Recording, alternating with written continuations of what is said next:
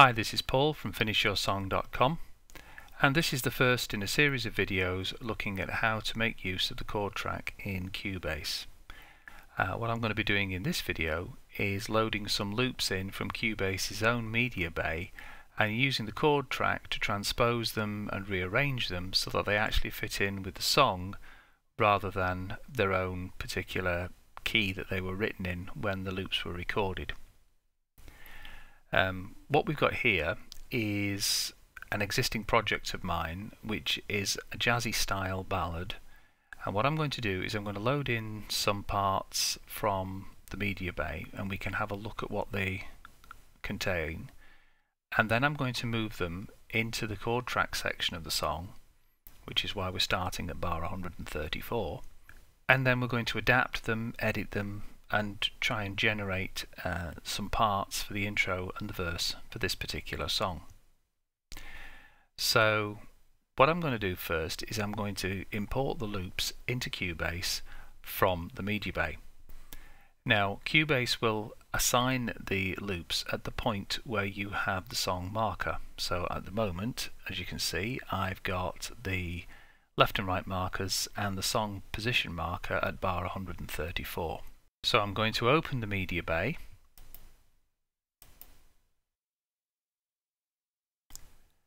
and as you can see I've already previously selected all the jazz loops within the all media section. So I've got MIDI loops selected, jazz selected and what I'm going to do now is I'm going to add the acoustic jazz verse A parts into my arrangement.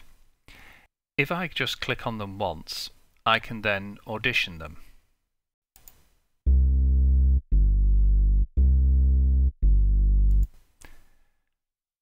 But if I double click on them, it will create a new instrument track in Cubase and put that part at that position in the song. So we're just going to click on them and load them in.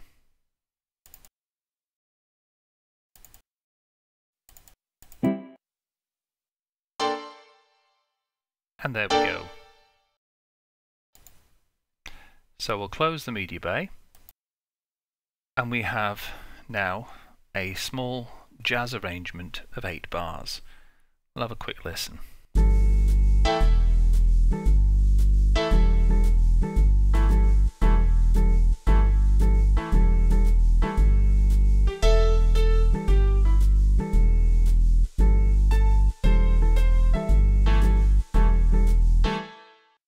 There's a couple of things to notice about these loops as we've imported them. First of all, it's created an instance of Halion Sonic and it's assigned a preset to it that reflects the particular instrument.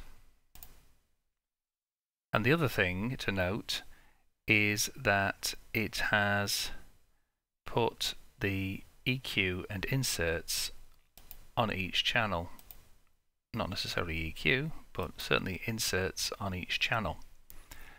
It's also activated the chord track and put it on auto. Well, we're going to turn that off just for the moment. It's already off on the drums because obviously you don't want to be transposing your drum notes. That's just going to destroy your drum part. So we'll just quickly open the bass line and have a look see what we've got and as you can see it's an AE alternating bass all the way through. And if we have a look at the piano part yeah that's fifths on A and then fifths on A again. It's pretty much an A chord all the way through and the jazz guitar is again it's an A chord all the way through. So fundamentally what we've got here is eight bars of a chord of A.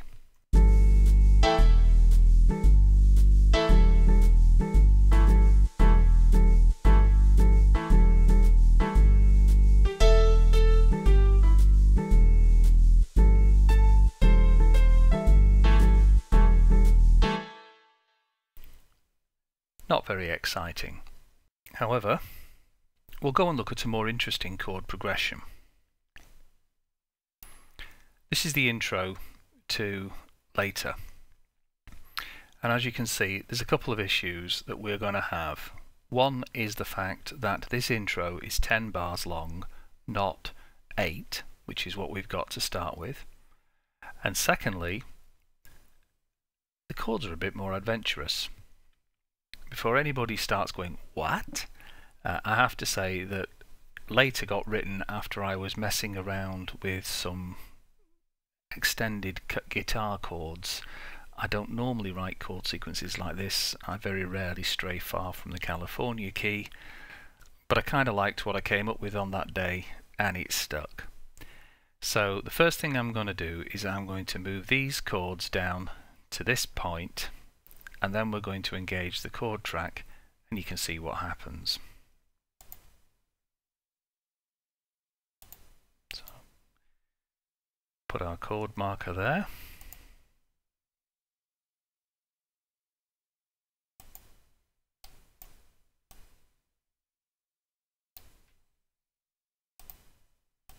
Right, so zoom that out a bit. Right, so there we have our extended bar of A. Now the first thing we need to think about is how we're going to fill these back two bars. And in our chord sequence, the A D major 7th chord repeats. So what I'm going to do is I'm going to cut, oops, cut the harmonic content there and move those back a bit and then simply duplicate these to fill in and repeat. I can do the same with this drum part because it's not that imaginative a drum part but normally when I'm editing drum parts what I would do is take the last bar or the last two bars and move that and then repeat something from within the middle. The reason being that with a drum pattern that's about 8 bars long, normally the interesting bits are at the beginning and the end, or at the beginning and the end if you prefer, and in the middle it tends to be a bit of the same. So you can pad out your middle like that, uh, which is how I tend to do it. So we've now created that, so we're going to go through and I'm going to turn on the chord track and tell it to follow the chords. And we get this message. Do we want it to follow it directly or do we want to sync it first? Well the answer is we want it to analyze the chords in the chord track and synchronize because then that's a one-time deal. So here we go. And as you can see all the notes magically moved.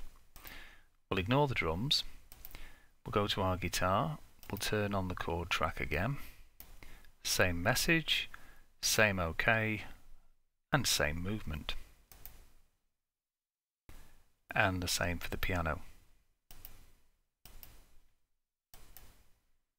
So, we've gone from having 8 bars of a repeated A to this.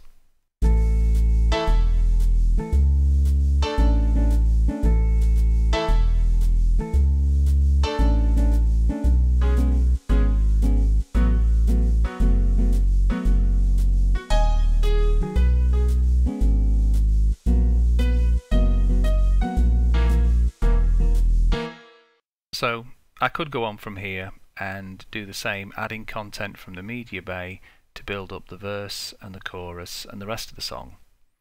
I'm not actually going to because that's not exactly the feel that I was aiming for with this song, but it was good enough to illustrate how you can very quickly, using the styles and the content in the media bay, use the chord track to create a full arrangement that suits your song and you're not stuck with 8 bars of the chord of A.